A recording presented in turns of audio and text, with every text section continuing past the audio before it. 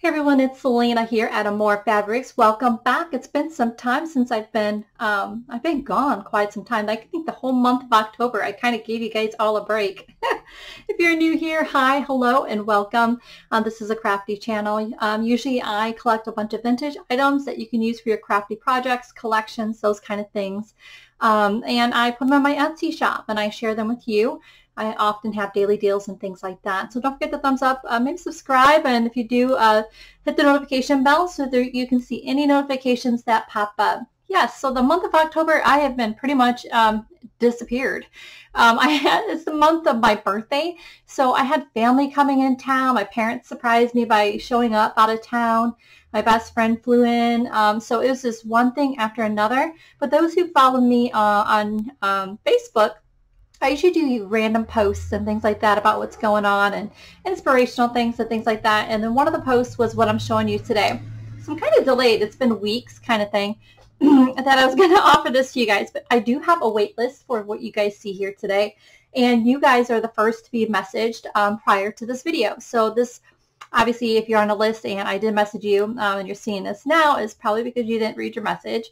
Um, I, like I said, anyone who's on the waiting list, I message you and I hold the item for you um, and all that. So what you see here are just amazing, amazing letters that I got in an estate sale. They're from the 19, late uh, 1920s, uh, early 1930s.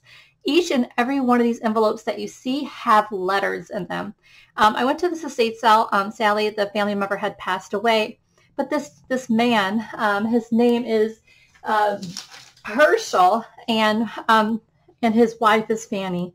So in all these letters, the reason why it took me some time to get to you guys about these as well is I wanted to read the history. I wanted to go through these letters, kind of understand who's who and what are these letters and why did they take so much time wrapping and storing of these letters. I mean, I have bundles of these letters.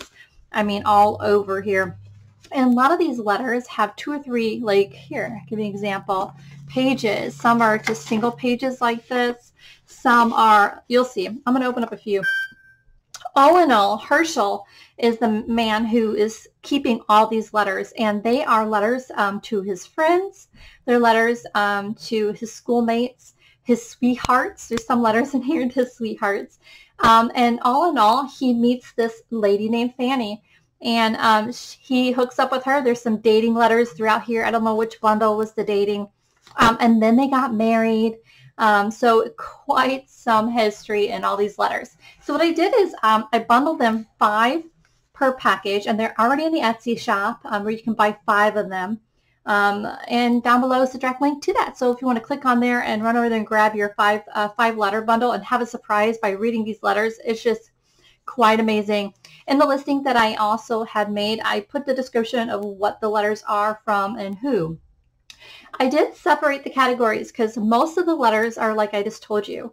But in this bundle right here, um, Herschel went to college, Ohio State University. So most of these are Indiana, Ohio addresses on these letters. Once in a while, I have a random state I imagine is from friends. But they are all, um, like I said, all, like these are the school ones. I'm going to go over here, here in a minute. But uh, they are all stamped uh, with the cool stamps here in every one of them. And what's so cool about them is this one's removing their stamp, is they're all the different colors. Like there's the purple, there's the red, um, and all that. Anyways, so this whole pile is all his school report cards and records, letters from all his school's um, information. So I was going to have a total different listing just for that school records and information. Look at this cool report card. So he went to Ohio State University and that is his, he looks like he was pretty smart. And obviously a sweetheart because he kept all his letters. It was quite amazing. Um, and so go over there, check that out. But before you leave, might, might want to stick around just a little bit longer. Here is a book I found and missed these letters. And this book had been his mother's. As I read through it, it was really cool. You guys do junk, a lot of you who follow me are junk journalers. And um, and this is one letter from his mom. I'm thinking, I look at the Inkwell script. A lot of these have Inkwell as as well in some of these letters. I wish I, I'll open a few here in a minute. But this was quite amazing. You know, I know you guys do glue books and scrapbooks and junk journals kind of thing, but this is a vintage book that his mother had, um, and it was about the Department of Agriculture in 1918. And she just took a book, and as you can see here, the beginning of the book, she never finished. This is where I think it just about ends. This book about agriculture, I can't see the word, my tongue tied right there. You can see, she has some clippings, but the whole beginning half, she had did like a glue book, scrapbook. And in it, she had put a bunch of like flowers. I know, it looks like you can use a lot of leaven or just put on a shelf as a collector. There we are. So she kind of glued important things to here. Five little pigs. I don't know what that says. I didn't really read it. It was like her school days. And she had put different articles and information. Look at 1926 of different things. There's different, uh, look at here. See exactly what you guys are doing. This is our school. So this is like a little school book journal she did. And look, see, even in the 20s. Here you go again. Here I'm thinking these are all new ideas. Here we go. Isn't this a cool book? I'm going to go ahead and list this in the shop.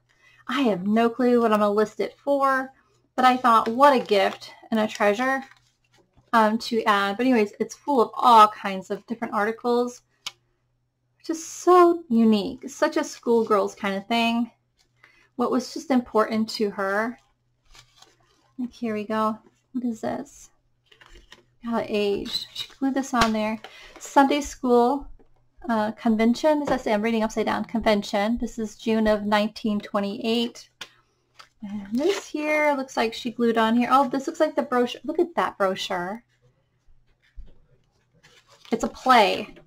So it's a play. It's a play printout. It must have been some kind of play. And here's the pages of the play. How adorable is that, right?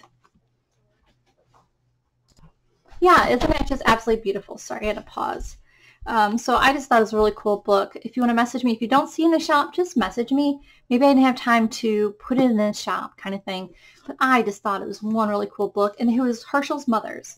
And I thought it was just adorable. Again, like I said, I have piles and piles of letters. So it's just, I wanted to get through them all, but I, I went so far as I could.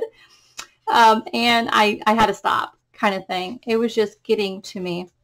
Like this one here is YMCA of Fort Wayne, Indiana. Okay, look how aged that went. This is 1931.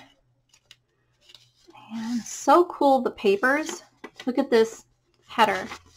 It says here, Miss Miller's Tea Room. Look at here. Look at the header of that paper.